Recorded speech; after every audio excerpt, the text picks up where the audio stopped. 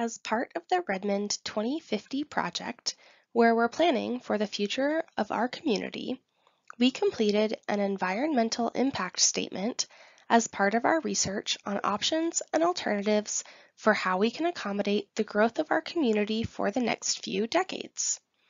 This video explains what is an environmental impact statement, or EIS, what it is used for, what is in the Redmond 2050 EIS, and how you can share your opinions on the options studied. What is an EIS? An EIS is an environmental impact statement, commonly referred to an EIS for short.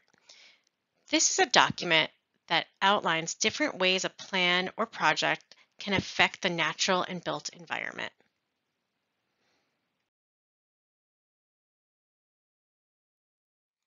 The city prepared an environmental impact study and a draft EIS because Redmond is growing. Washington state intentionally sets some areas aside for growth in housing and jobs. This is the urban growth area, and other areas for preservation of agriculture and natural resources. The EIS will help us make decisions on where we grow and what it will look like. This will include things such as building heights, different types of housing, and more. The EIS tests how much and where we would grow if we don't make any changes and compares this with two growth alternatives. What is an alternative? Alternatives test different ways of achieving objectives. Our objectives are creating a comprehensive plan that meets state and regional requirements to accommodate our expected share of growth and advancing equity and inclusion, sustainability, and resilience. The EIS compares these growth alternatives to test how they meet or don't meet our goals.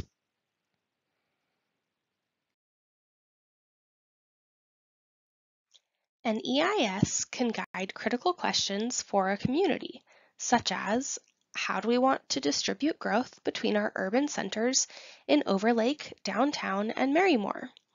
Do we want to include growth opportunities along some of our major corridors near centers? Do we want growth to go up, allow taller buildings, or spread out, not quite as tall?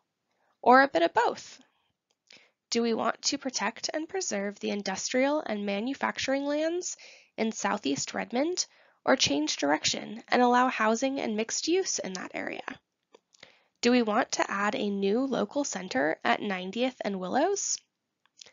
An EIS can answer critical questions for a community such as, so what are the impacts of those decisions? How can we avoid or limit negative impacts?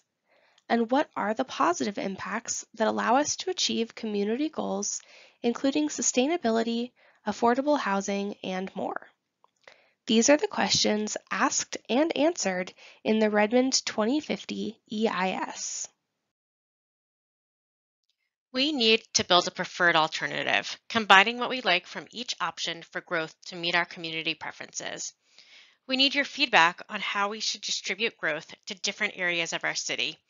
Do we want to go up or out? Meaning, do we want taller buildings or not quite as tall but more buildings? Or a bit of both? Do we protect our industrial and manufacturing lands in Southeast Redmond or change direction and allow for housing and other businesses in that area? You can get involved and join the conversation by visiting the Redmond 2050 website. You can take a questionnaire or learn about any of our upcoming workshops. We look forward to seeing you there.